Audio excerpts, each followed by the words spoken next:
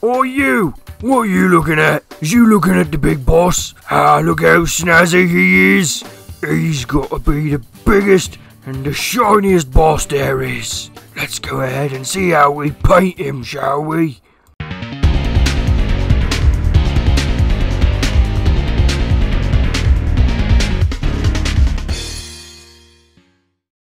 Hey guys, welcome back. Sorry about that little mix-up with the orc, he got to the mic before me. Anyway, let's jump into this model. We're going to start by priming it using Wraithbone Spray Primer from Citadel.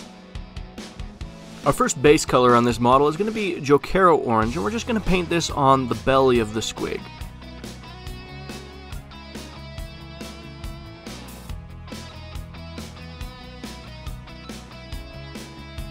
For the rest of the squig's skin, we're going to use Mephiston Red as the base color. And the only thing you want to be aware of here is you don't want to do a straight line at the points where the red and the orange intersect. You want to do a more squiggly, natural looking line.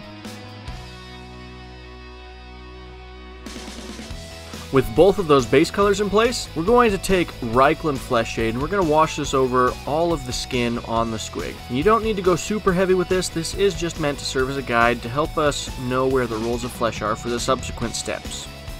Once that shade is dried, we're going to take Cadian Flesh Tone and we're going to begin layering this over the rolls of the skin. Now we're focusing just on the most raised surfaces. You don't want to put this in the recesses on the belly of the squig.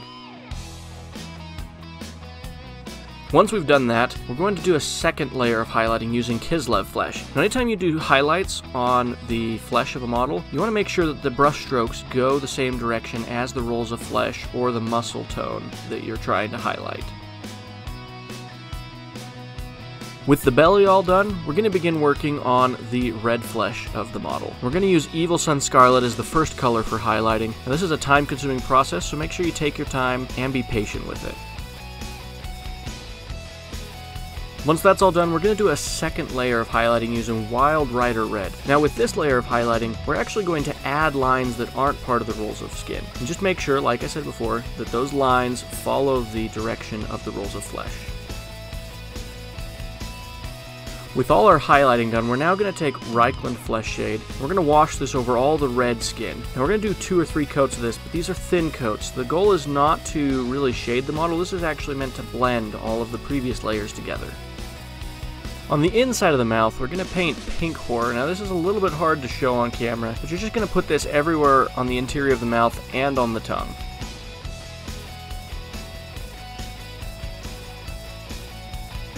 Once that base coat is dried, we're going to take Contrast Volupus Pink, and we're going to use this to shade the inside of the mouth. And you can go nice and heavy with this. It is the inside of a mouth, and the inside of the mouth is pretty dark, especially towards the back of the throat. Once that is dried, we're going to go back through one more time with Pink Horror. we're just going to highlight the raised ridges inside the mouth.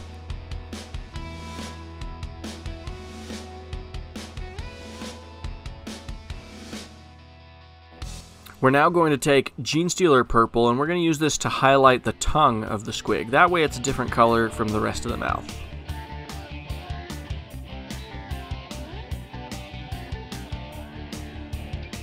For the teeth of the squig, we're going to begin with Morghast Bone as the base color. Just be careful not to get this on any of the flesh around the teeth.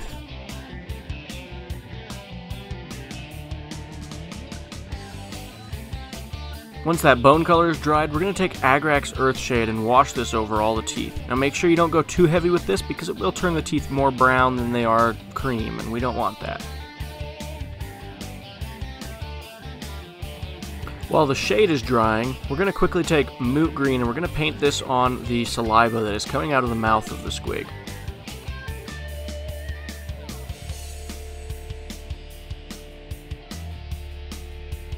Now we're going to quickly shade that green using Biel-Tan Green.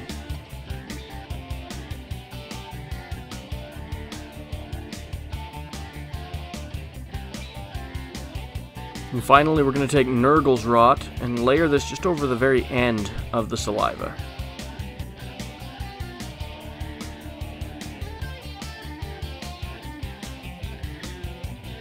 Moving back to the teeth, we're now going to take Ushabti bone and we're going to just do little highlight lines starting at the tip of each tooth and moving upward. And the further up the tooth you get, the more the lines will separate, revealing the more brown color underneath. Now we're going to do a similar process on the toes of the squig, using Mournfang Brown as the base coat.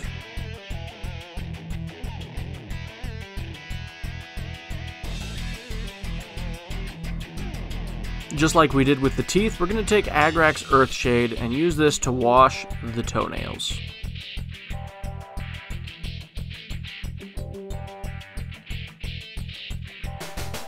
Now our first highlight for the toes is going to be Baneblade Brown.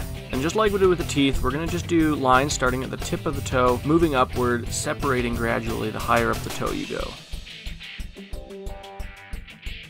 I decided to go ahead and do a second layer of highlighting just to add a little bit more color difference to the toenails. So I used Rack Rakarth Flesh and did the same thing we did in the previous step.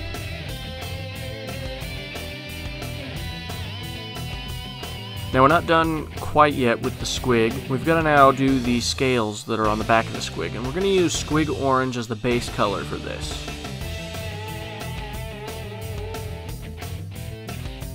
To shade the scales, we're going to use Seraphim Sepia. Just be careful not to let this pool on the red skin that we've painted in previous steps, because it will discolor the skin. Next we're going to take Troll Slayer Orange and we're going to use this to highlight the most raised ridges of each scale.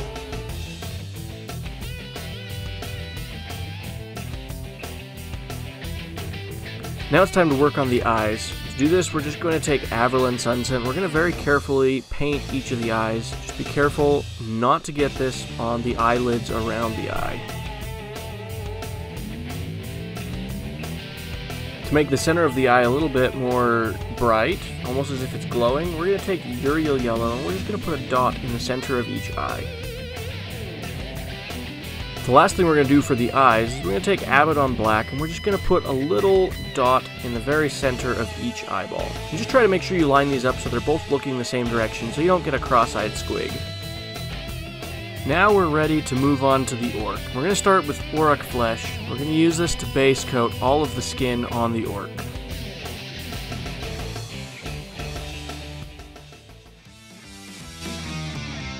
We're going to use Biel-Tan Green to shade the skin of our orc. You can go as heavy as you'd like with this. The more shade you do, the darker green this orc is going to end up being.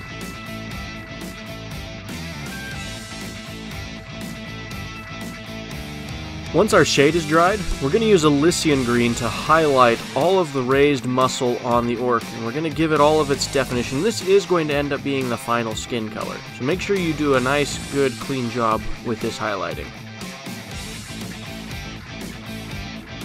With the orc's skin all done, we're going to now take Rhinox hide and we're going to paint the saddle and any leather straps that are on the model. And there are quite a few, so make sure you take your time and identify where all those straps are located.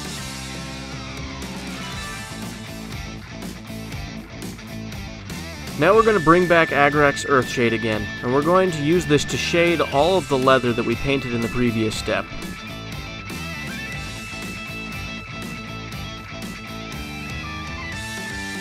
Once that shade is dried, we're going to take Mournfang Brown, and we're going to use this both for dry brushing and edge highlighting. So you'll dry brush all the leather first, and then you will edge highlight all of the more controlled, fine lines that you want on your leather straps.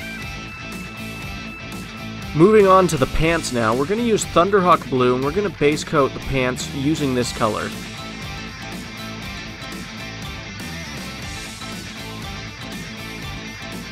Once that blue is dried, we're going to take Agrax Earthshade and we're going to use this to shade the pants. Don't go too heavy though because we want to keep the pants looking blue. We don't want to turn them completely brown.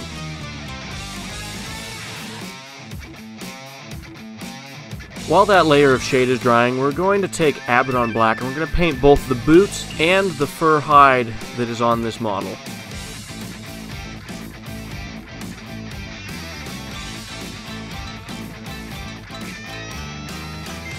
Now that that's done, we're going to go back to the pants and we're going to take Fenrisian Grey and we're going to use this to highlight all of the wrinkles and edges that are on the pants.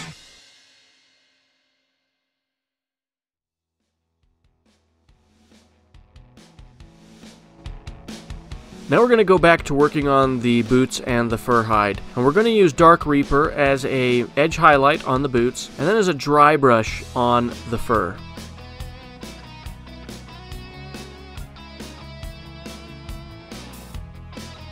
As an extra bit of detail on the mantle, I took Celestra Grey, and this isn't quite a dry brush. You want a little bit more paint than you would when you're dry brushing, but other than that, the technique is very similar, and we're just going to put a stripe going down the center of the mantle. Now we're going to begin working on the choppa that this boss is carrying. We're going to use Moot Green as the base color for the choppa, and you'll see why here in just a minute.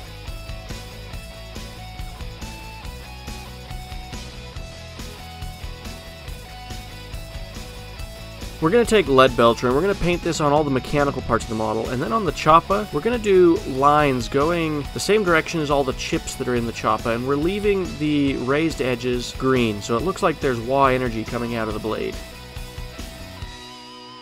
With that all done, we're going to take Nuln Oil and we're going to use this to wash all of the mechanical parts of the model. The heavier you go, the more oily and dirty this is going to make those parts look. So it's up to you how heavy you want to put on this wash. Once that Nuln oil has dried, we're going to take Necron compound and we're going to dry brush this all over the mechanical parts. This is going to make the edges look a little bit cleaner and brighter so there's a contrast between the oily, dirty spots and the cleaner parts of the model. Now we're going to take Stormhost Silver and we're just going to pick out a few selected pieces of the metallic parts. We're just going to pick them out in a different color just to provide some variety to look at.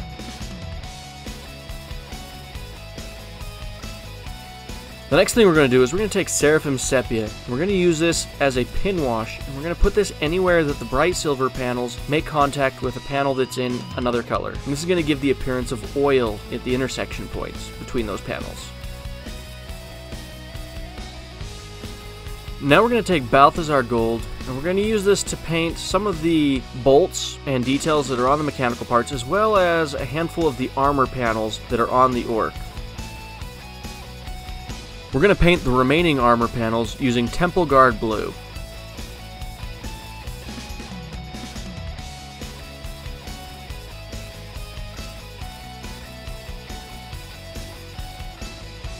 There are a handful of bone pieces on this model, and we're going to paint those using Morghast bone. If you haven't done the teeth on your orc yet already, do that in this same color as well.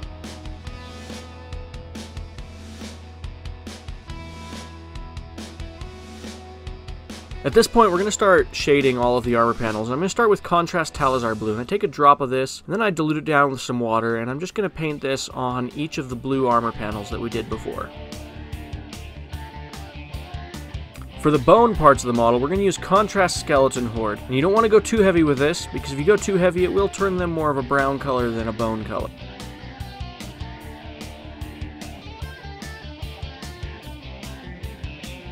And for the gold armor panels, we're going to use Agrax Earthshade.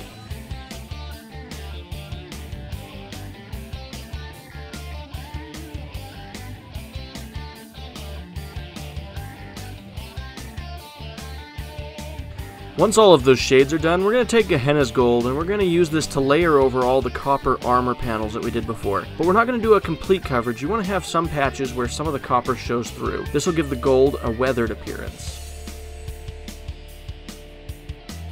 There are a few spots on the model that I wanted to leave looking a little bit more coppery. So I took Sycorax Bronze, and I did this in the similar manner to how I did the gold in the previous step. I just wanted to give them a little bit different look from the copper that we started with.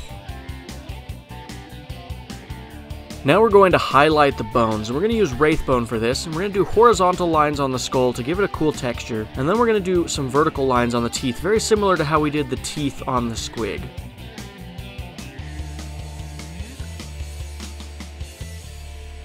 There's just one thing left to do on this model before we can call it done, and that's to paint the cable on the back of the leg. So we're going to use Averland Sunset as the base color for this cable.